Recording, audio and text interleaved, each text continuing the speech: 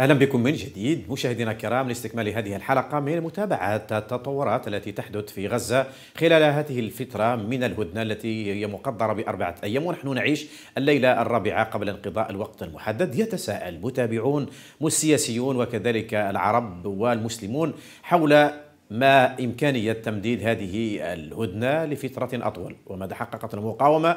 حاولنا أن نجيب على هذا السؤال في الجزء الأول ولكن في الجزء الثاني ربما سنعود إليه بطرفة وجزء مخصص ولكن الهدف السؤال هو ما هي مؤشرات تمديد هذه الهدنة؟ وكما قال ضيفي في البلاطو منذ قليل أن الهدنة أو أن الهدنة هي هدنة إنسانية وليست وقف القتال لأنه فيه كذلك تهديد من الكيان الصهيوني على أنه سيواصل الحرب في غزة. مغزاه ومعناه ومبتغاه في ذلك هو تطهير غزة ظلما وعدوانا ومهتانا من المقاومة. ومن جهة أخرى كما يقول الوقوف على الأنفاق الوقوف على آليات وقوة المقاومة وكذلك كما يسميهم الامتلاك وملك المختطفين بطرق ليست المفاوضات لأنها في وقت قريب كانت أو كان الكيان الصهيوني يضغط على الإدارة الصهيونية من خلال الخرجات الميدانية وكذلك المظاهرات من بعض الأفراد المستوطنين الذين يطالبون نتنياهو بضرورة إطلاق أبنائهم. فقالوا في عبارة شهيرة آه، أطلقوا أبناءنا ولكم نتنياهو ونحن لا نريد لا هؤلاء ولا هؤلاء مشاهدينا الكرام نعود إلى ضيفي في البلاطو الدكتور فاروق طيفور أهلا بك من جديد سيدي الكريم كنت تتحدث عن الضيف بغضب. حاول ولكن في أقل من دقيقة. الضيف كنز استراتيجي للمقاومة وقد تحركت في حدود ما تستطيع على اعتبار الظروف اللي موجودة في الضفة الغربية وهنالك يعني حراك كبير وكبير جدا للأسف الشديد. قلت لك تساهم فيه هذه السلطة في مسألة التنسيق الأمني وسجن بعض رجال المقاومة. ما زالوا إلى اليوم في سجون السلطة. لا أتحدث عن سجون سجون الاحتلال ولذلك لابد أن بالعبارة الجزائرية ان أن تؤوب هذه السلطة إلى شعبها إلى حمل إلى رشدها وتجتمع وتراجع مواقفها. وإذا كان كان هنالك تغيير لابد أن يحدث تغيير وهناك تغيير. الآن أنا كنت أسمع بالأمس إلى يعني آه، مسؤول عن التيار الديمقراطي داخل حركة فتح ويتحدث بعبارات يعني هي عبارات هي عبارات كل الفلسطينيين. وأعتقد أن الإكراهات الموجودة على هذه هذه السلطة لابد ان أن تزول وإلا آه، في نهاية المطاف يعني يتم تجاوزها كثيرا. وأعتقد أيضا أن إعلان الجزائر ما يزال إلى اليوم صالحا من أجل استقبال المرحلة القادمة ولكن على قاعدة المقاومة على قاعدة التحرير وليس على قاعدة الاستسلام وقاعدة إن صح التعبير يعني التنسيق التنسيق الأمني وإعطاء يعني ما يعني إعطاء الكيان الصهيوني ما لم يستطع أخذه بالمقاومة وبالمواجهة. سنع يعني نعرض في هذا الجزء المحور الثاني وعنوان المحور الثاني وهو مؤشرات نجاح هذه الهدنة وكذلك تمديدها لفترة أطول. دكتور طيفور لو سمحت نتحدث عن هذه الفترة.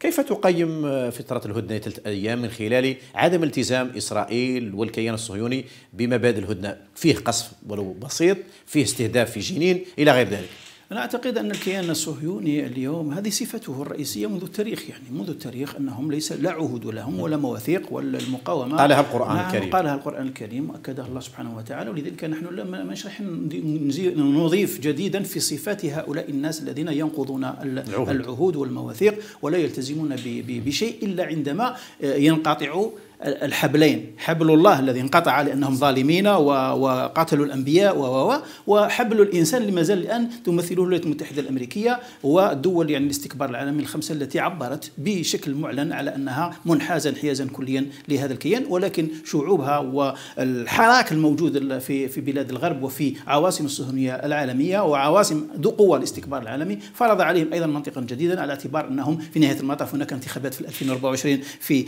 آه، الولايات المتحدة الأمريكية. الأمريكية هنالك أيضا تفاعلات في بريطانيا وفرنسا وإيطاليا وألمانيا. لذلك فأعتقد أن هذا التدافع مهم ومهم جدا. آه، بغيت فقط نتكلم على البعد الثاني للهدنة وهو آه، يعني البعد الإنساني. هناك بعد إنساني. صحيح أن هناك بطء كبير جدا في استقبال المساعدات ولكن هذه الهدنة أيضا كان من ضمن أهم أهدافها وهو فتح معبر رفح والمعابر الأخرى من أجل إغاثة ولكن غير كافية المفروض بدون يقول اسمح يقول مطلوب دخول 200 آه، شاحنة. لحد الآن تدخل قريب 100 فقط هو, هو في نهاية المطاف يعني من من ضمن أهم شروط هذه الهدنة. الهدنة الإنسانية هو دخول المساعدات. وهنا يعني ال ال ال الكرة الآن هو في يد هؤلاء الذين كانوا يعبرون عن معبر رفح. يعني لابد ان أن يفتح وتكون مساعدات. الآن لابد من إغراق معبر رفح في المساعدات بكل خاصة الوقود والأدوات الطبية من أجل على أقل تقدير استعادة المستشفيات التي كانت هدفا استراتيجيا آه، عسكريا. وليس فقط يعني للكيان الصهيوني من أجل أن يدير أن صح التعبير نصر زائف على أنه يضرب ويقول قيادة حماس موجودة في مستشفى الشفاء ولكن في نهاية المطاف لم يجد لا في لا في مستشفى الشفاء ولا في مستشفى الرنتيسي ولا في مستشفى مستشفى نرجع المؤشرات لذلك فالبعد الإنساني مهم, مهم جدا. ومهم جدا وأعتقد أنه يتطور يوما بعد يوم. هل هذه اسمحني أستاذ يعني هل هذا الاجتياحات خلينا نسميه يعني في الضفة في الجنين وكذلك الخروقات هل هو مؤشر باش يزيدوا في الهدنة لعشرة أيام كما يقال أم أنه ربما ستضع الحرب أوزارها؟ أنا أعتقد أنه إذا كان كان رجعنا باستخدام المنهج التاريخي عندنا في العلوم السياسية فإن الخمس الخمس عدوان يعني الاعتداءات اللي صارت في, في الآخر كانت الهدنة الإنسانية مقدمة لهدن لهدن أخرى. هذا يعني. بالمؤشر. إذا كان كان نشوفه بال, بال ما نراه الآن من قصف واقتحامات في طول كرم في يعني في جنين في البيرة. في, البيرة في في كذا. أنا أعتقد أن هؤلاء في نهاية المطاف هم يبحثون الآن على أن الجولات اللي جاية ما زالت الأهداف تلاحقهم. لهم ولكن الذي الإسراف عند في الكيان الصهيوني هو أنه الآن آه، شعبه غير قابل للحرب. ولكن الإدارة قالت بأننا سنواصل الحرب في غزة للقضاء على حماس. بدون شك هذه أهداف رسمت عندهم ولم تتحقق. وهم يعرفون ولكن مصرون عليها. ولكن هم يصرون على في نهايه المطاف أشياء وهمية لا يستطيعون اليوم اليوم هناك طائرات مسيرة تشوف على الأقل السبب الرئيسي تحت هو هو أين هم هؤلاء الأسرى؟ بعد ولات علامه استفهام كبيره وكبيره جدا من أين يخرجون؟ آه كيف يمكن لأنه لأنه هدفهم الرئيسي حتى عندما جابوا قوات الدلتا الأمريكية المتخصصة في يعني الإفراج عن الرهائن وكذا وكذا في نهايه المطاف أين من أين يخرجون؟ كيف يتفاعلون؟ وكيفاش حتى هؤلاء الأسرى يجوا لابسين لاباس عليهم نظاف مسقمين يعني و يعني وكانهم حالة كانوا جيدة. وكانوا كانوا في فندق خمس نجوم يعني عندما تشوف وتدقق في في الصورة. فهناك شيء يحدث عند هذه المقاومة لا يوجد هنالك فيه له تفسير. إلا أن هذه المقاومة قد يكون تفسير أستاذ أستاذ اسمحني. قد يكون ليس في داخل فلسطين قد يكون في مناطق أخرى خارج الأراضي الفلسطينية أصلا. ما دام كان هناك قد معناها ما عندناش معلومات ولكن المعلومات عند المقاومة. لكن الشيء الذي الذي لابد أن نتفق عليه هو أن أنت أمام مقاومة جادة أمام مقاومة مسؤولة نخبة. أمام نخبة من ال من, ال من أمام آه، مقاومة عندها تجربة حتى استراتيجية. يا راجل حتى الآن تتعاطى مع دول. الآن عندما سمعت أن اردوغان أردوغان طلب يعني التايلانديين فقالت المقاومة نخرجهم بدون بدون بالمعنى. شوف هذا البال. هذا العقل الاستراتيجي الذي يسير هذه المعركة. ماهيش مقاومة فقط. ليست يعني مقاومة عبثية كما كانت تسميها السلطة في يوم من الأيام وإنما هي مقاومة تملك رؤية عندها استراتيجية. أيضا تجربة راكمت هذه التجربة تاعها وأصبحت اليوم هذه هي نتائج. هذه نتائج ماذا؟ هي نتائج اقتران الإيمان بالعمل. هذا مهم ومهم جدا. ليس الإيمان فقط بالقضية. وإنما بالعمل لهذه القضية حتى تصل نغرق في التفاؤل. لا لا, لا مهم جدا. لا هذا مهم جدا. محلل سياسي ولكن لا لا, مع لا هذا مؤشر. هذا مؤشر كبير جدا لأن الإيمان بالقضية والعمل لها والإعداد لها بكل الأدوات. ليس عاطفة. عندما عندما تقول لي الآن أنا ما زالت الآن مصانعي لتكوين لصناعة السلاح ما زالت تشتغل في في الأنفاق. لا أستاذ عن ماذا تتحدث؟ تتحدث عن عواطف ولا تتحدث عن أشياء؟ أستاذ أنا يعني تكلمت على نعم. تكلمت على همة ويعني مطالب الكيان الصهيوني. وقال لك انه بعد غزه أو بعد هذه الهدنة ندخل حماس أو ندخل غزة ونبقى نحوس على كما يسمى مختطفين. اليوم آه، ربما لما إسرائيل تأخذ هؤلاء الأسرى اللي هم 250 عند الجهاد ولا عند فصائل أخرى أو المقاومة ولما يعني تكمل آه، العدة نتاعها هي 150 قد تواصل الحرب. ما دليل ذلك؟ هذا هذا مفتوح أنا ما قلتلكش مش راح تواصل الحرب قلت لك أن المعطيات هكذا تقول الفشل والعجز واضح ووضوح الشمس قعدت الآن أكثر من 49 يوم من أجل هذه الأهداف. أكيد. ولكنها لم تحقق شيئا. ثم بعد ذلك ضغطت بالقصف إلى أن وصلت العدد إلى 15 ألف شهيد. والقصف في كل مكان وضربت المستشفيات في العمق وكسرتها لما خرجت وانسحبت. وفي نهاية المطاف الآن انسحبت تجر أذيال الخيبة والهزيمة. لماذا؟ لأنها لم تحقق الأهداف التي أعلنتها التهجير قضاء على على على المقاومة ثم بعد ذلك استعادة غزة. لم تستعد غزة. ولم تقضي على المقاومة ولم تخرج هذا ولم بل ان الأماكن تاع الاسرى معلبه ممكن هذا بغض النظر على اكتشاف الأنفاق وتدمير الأنفاق وغير غير ذلك اللي هي الأداة الرئيسية الأساسية أستاذ التي يعني تستخدمها ربما المقاومة. من جهة أخرى ربما أستاذ لو وافقك الرأي. ربما كذلك أنه لما خذاو هؤلاء المختطفين كما يسموهم هم بين قوسين إحنا الأسرى آه، بالنسبة لهم هم نجاح. والله يعني إذا كان كان تبادل الأسرى بهذه الطريقة يعني آه، كما يقولوا على النصف نجاح فيعني هذا أعطي العقل أعطيني عقلك يا كيان الصهيوني نفكر به.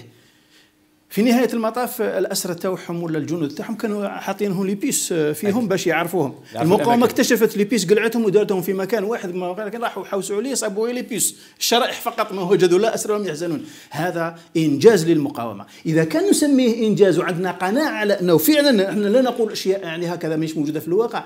إذا كان هو إنجاز للمقاومة إلى اليوم أن معركة الأسرى ربحتها ربحتها المقاومة اليوم وهي تسير في الملف. بالأمس أوقفت الجولة الثانية. الدفعة الثانية اوقفتها أسباب تقنية وفي الأخير في أسباب تقنية أسباب كذا أن المقاومة قالت باللي الشرط الأول تاع الأقدمية لابد ان أن يكون. ثم لم يراعوه لم يراعوه في في في, في الأولى. آه ثانيا يعني القوائم ما كانتش يعني ما, ما, ما كانتش مضبوطة. بعد ساعة ساعتين في افراج كذلك على الأمريكيين اليوم يعني. بدون أدنى شك ذلك الآن أنا أعتقد أننا أمام ملحمة في تسيير. المقاومة تسيير المواجهة تسيير المفاوضات تسيير ملف تبادل تبادل تبادل المحتجزين وليس الاسرى إلى إلى اليوم. في نهاية المطاف أنت يعني ما ماكش يعني تتحدث على على معناها نجاح منا ونجاح منا لا, لا يمكن. مازال ما اقنعتنيش في المؤشرات؟ أقنعني. ما هي مؤشرات تمديد الهدنة لفتره أطول؟ أنا أعتقد أن بعد الأربع أيام هذه اللي الآن فيه إن صح التعبير آه، تسيير آه، استراتيجي. جيد واستراتيجي للملف سواء على المستوى الداخلي وعلى المستوى الخارجي. أعتقد أن المعركة فيه طرفين. فيه معتدي اللي هو الكيان الصهيوني. معتدى عليه. وفيه معتدى عليه اللي هو محتل يعني محتل من طرف هذا. فلا بد أن لا نغير نغير المواضيع. ما هو في فلسطين هو احتلال. يخضع لقانون دولي ومعروف وواضح. وهذا الذي حدث ليس حرب هو اعتداء وعدوان حرب يكون قوتين متكافئتين. قوتين متكافئتين. أنت أمام حرب اعتداء. أمام اعتداءات يعني خارج إطار الشرعية بين قوسين الدولية، خارج إطار القانون الدولي، هذا الكيان له حصانة من هذه الدول التي جمدت وشلت هذه المؤسسات الدولية، حتى المؤسسات التضامنية وتاع المساعدات شلتها إلى اليوم، ما نتكلمش على يعني الحالة الأخرى، فأعتقد ان ان اليوم عندما نشخص الوضع نقول أن حاله الإنجاز موجودة، حالة النجاح في تسيير هذه الملفات موجودة، في المقابل هل يمكن أنها تكون هنالك مؤشرات لمزيد من أنا أعتقد أن الوسطاء يعملون على هذا. وأعتقد أن ما يحدث في الكيان الصهيوني من تفكك وهذا كان يمكن أن نتحدث عنه. خسائر كبيرة وكبيرة جدا على المستوى الاقتصادي على المستوى السياسي على مستوى تآكل صورة هذا الكيان الصهيوني على المستوى الدولي عند الرأي العام الدولي. هذه كلها قضايا مهمة ومهمة جدا. يحسب لها الحساب عندما يكون هنالك تفاوض أو حوار حول تمديد ال ال ال الهدنة الإنسانية ووصولها إلى ما نسميه بالهدنة يعني إن صح التعبير السياسيه لإيقاف الحرب تكلمت لي على على التاثيرات الاقتصادية لأنه فيه يعني تقريب منذ ثلاث ساعات فيه موظفون أو موظفون أمريكيون يعني تقريب 20 بعثوا الإدارة الأمريكية بايدن قالوا بانه هذا الأمر اثقل كه الاقتصاد الأمريكي يعني تبقى دائما أمريكا تدعم الحرب في إسرائيل أو حرب إسرائيل على غزة. هذا سينهك الاقتصاد الأمريكي. إلى أي مدى هذا المؤشر يعني يؤشر على نهاية الحرب؟ الاقتصاد الأمريكي أصلا هو في تراجع في حالة أزمة وفي حالة مديونية كبيرة وكبيرة جدا داخلية وخارجية. هذا واحد وهذا يعني يتكلم عليه المؤشرات الاقتصادية واضحة وضوح الشمس. في حال. أيضا الولايات المتحدة الأمريكية اليوم من خلال طوفان الأقصى دخلت في معركة كانت خارجة منها من المنطقة. أصلا الولايات المتحدة الأمريكية كان باقي لها 3000 جندي في منطقة الشرق الأوسط. كانت تريد أن تواجه بهم الصين في في البحر الصين وفي منطقة الباسيفيك. ولكن في نهاية المطاف دخلت في خطة لم لم تصممها هي. في نهاية المطاف. عليها. اي وهي تخشى عندما جابت جيرارد فورد إلى يعني نقلتها في منطقة البحر المتوسط للقيام بأعمال هي أعمال كانت تقوم بها الصهيونيه تقوم بها الكيان الصهيوني لكن عندما تعطلت يعني ادواتهم التكنولوجيه والتجسسية من خلال العمل اللي داروا عبور السابع من أكتوبر 2023 جاءت هذه جاءت يعني جيرارد فورد من أجل أن تؤدي هذا هذا هذا الدور. معنى ذلك أن هناك ميزانيات كبيرة وكبيرة اذا أنت عندك عجز.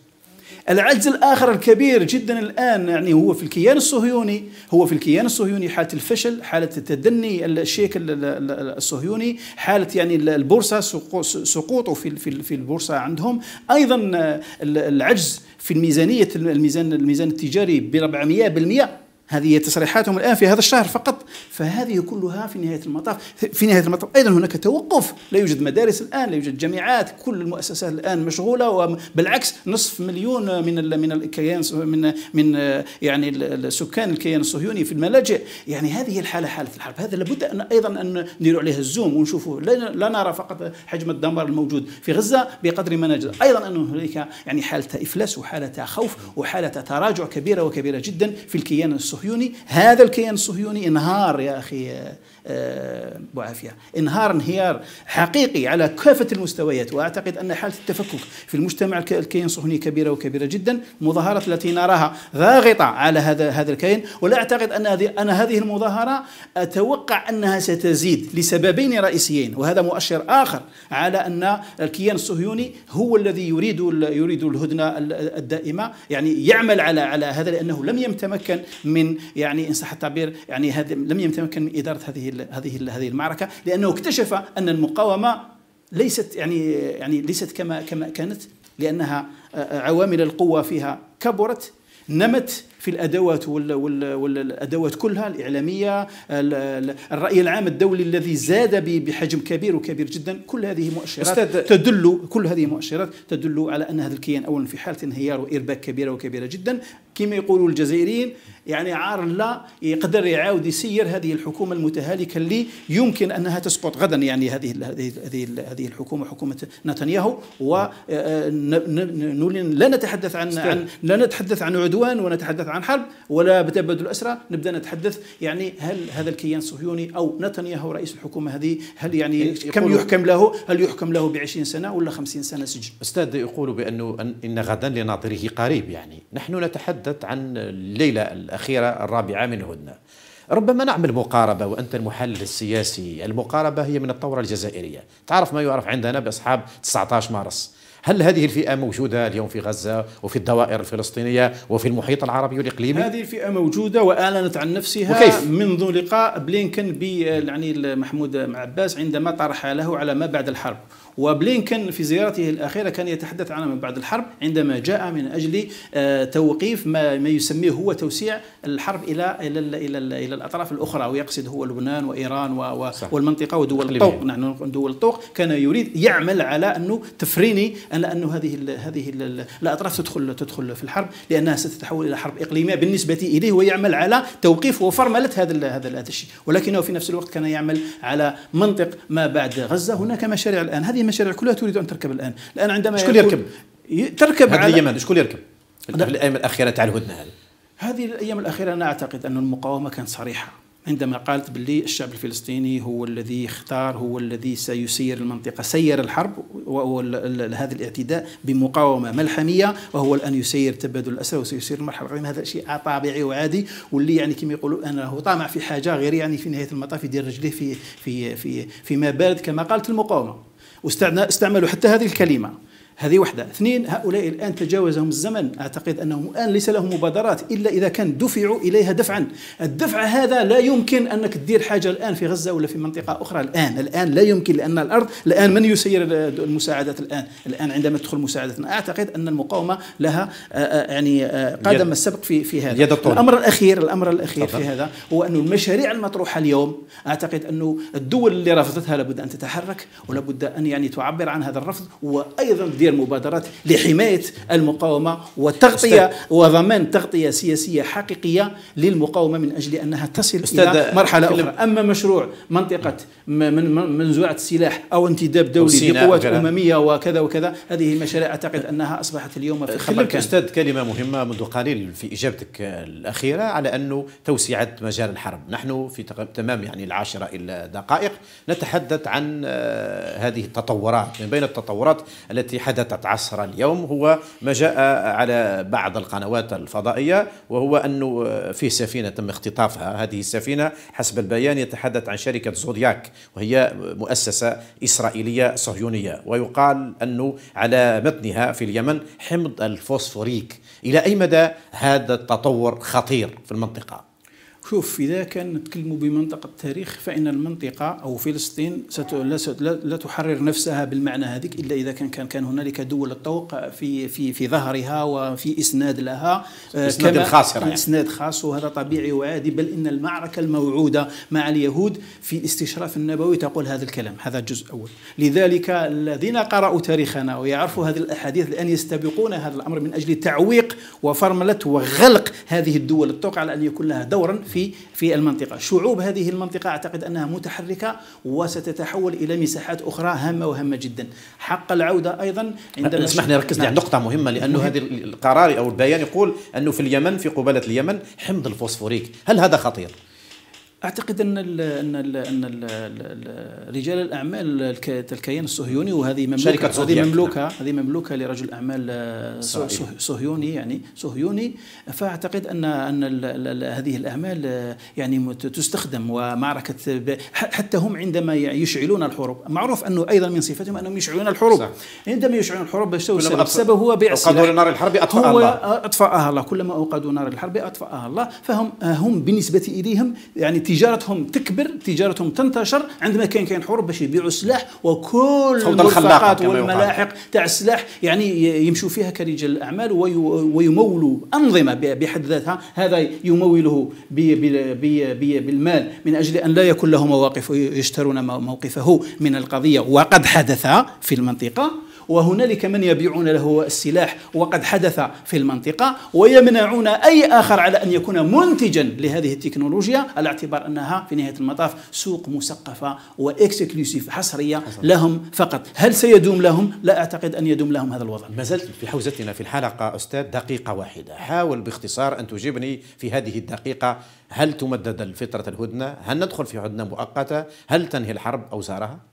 أعتقد أن المسار اللي الآن هو موجود هو مسار يعني آه، يقود إلى على الاقل تمديد على اعتبار أنه فيه حالة إخفاق في تسيير هذه الملف وحاله يعني ضغط في في, في ما بين الوسطاء والطرفين الأساسيين من أجل يعني آه، التنفيذ والتجسيد الحرفي لمبنى الاتفاق. هل س يعني تزيد بعد الأربع أيام هذه ام أم تزيد؟ أعتقد أنه فوق 50% يعني 51% يعني تزيد حسب التوقعات ولكن المؤشرات اللي تعطيها يعطيها الكيان الصهيوني هو لتح هذه التدخلات هنا والتوغل هنا والاقتحام هنا. أعتقد أنه ما تزال في نفس السردية تاعها ونفس الخطة اللي كانت دايرتها من أجل الضغط على تحسين الشروط. لماذا؟ لأن الجولة الثانية لمناقشة ملف الاسرى ستكون في عندها أبعاد سياسية لأن هؤلاء الاسرى عندهم أبعاد سياسية ما همش أطفال وما همش نساء وإنما هم مناضلين في رأسهم مروان البرغوثي وسعدات